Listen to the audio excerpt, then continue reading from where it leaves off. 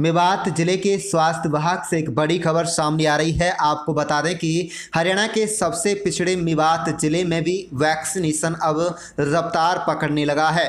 Corona महामारी से जान बचाने के लिए वैक्सीन ही सबसे कारगर हथियार है। इस बात को अब लोग लगातार समझ रहे हैं। टीकाकरण कराने के लिए आगे आने लगे हैं। शुरुआत में राज्य में सबसे कम टीकाकरण इसी ज़िले में था। लेकिन अब स्वास्थ्य विभाग के अधिकारियों की बात लोगों की में आने लगी है। आंकड़ों पर अगर नज़र डाले जाए तो मेवात ज़िले में कोरोना की वैक्सीन की पहली डोज उनसठ हज़ार सौ छत्तीस लोगों को अब तक लग चुकी है तथा दूसरी डोज नौ हज़ार नौ सौ अट्ठासी लोगों को लगाई जा चुकी है। अब तक मेवात ज़िले भर में उनहत्तर लोगों को टीका लगाया जा चुका है। डॉक्टरों के मुताबिक टीका लगने के बावजूद भी लोगों को घरों से बाहर निकलते समय मास्क लगाकर रखना होगा, सोशल डिस्टेंसिंग का ख्याल रखना होगा तथा बार बार हाथों को साबुन से धोना ज़रूरी है। डॉक्टरों के मुताबिक टीकाकरण से पहले हर व्यक्ति को कोविड ऐप पर जाकर ऑनलाइन रजिस्ट्रेशन कराना होगा।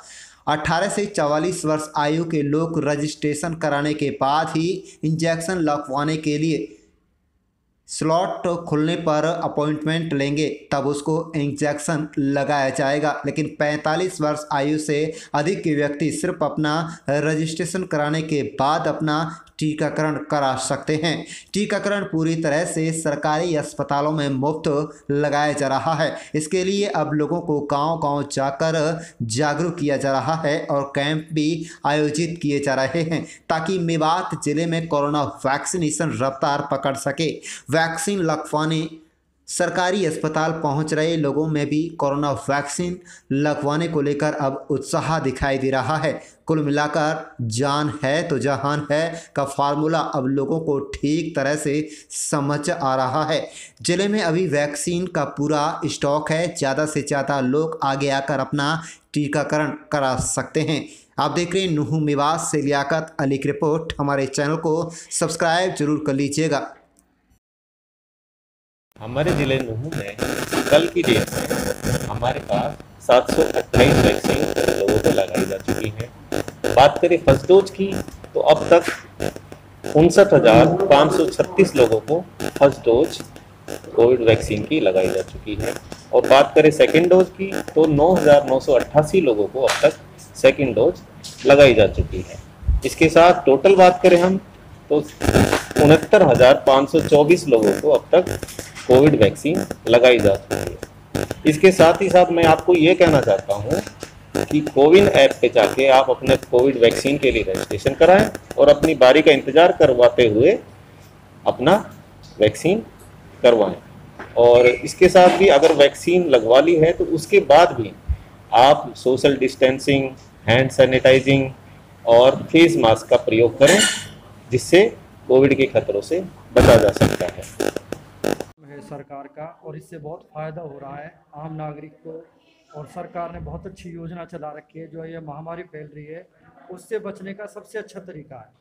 और सभी नागरिकों को जागरूक होना चाहिए और अवश्य ही इसको लगवाना चाहिए। ये भी देखो कितने अच्छे कर्मचारी इतनी मेहनत कर रहे हैं, आप भी कितनी मेहनत कर रहे हैं तो ये बहुत अच्छा तरीका है और ये काम लगातार जारी रखना चाहिए सभी बहुत गाँवों में जागरूकता फैली है, जिस तरीके से ये महामारी थी और लोगों ने देखा, अब लोग आ रहे हैं, जागरूक भी हो रहे हैं और काम भी लगातार चल रहा है। तो ये बहुत अच्छी बात है सभी को आगे आना चाहिए और इस काम की ओर अग्रसर होना चाहिए। नाम अनिल कुमार है जी। अनिल जी आपने वैक्सीन लगवा ली है क्या कहना चाहेंगे? वैक्सीन लगी लगी हुई थी और वैक्सीन लगने से फ़ायदे हैं कि आदमी को एक तो कभी कोरोना में मौत नहीं होगी अगर कोरोना होगा भी तो आपको मौत नहीं होगी और कोरोना से बचाव होगा। इससे हर आदमी को लगवाना चाहिए जिससे कि वो अपने आप को बचा सके सेव कर सके और दूसरों को भी सलाह दे कि मुझे इस वैक्सीन से कुछ नहीं हुआ। मैं सेफ़ हूँ ठीक हूँ और आगे किसी को कुछ नहीं होगा और उनकी भलाई के लिए है। क्या आपने दोनों डोज लगवा ली? दोनों डोज लग चुकी हैं। क्या कहना चाहेंगे? पहली डोज आपकी कब लगी और किस तरह से? पहली डोज लगी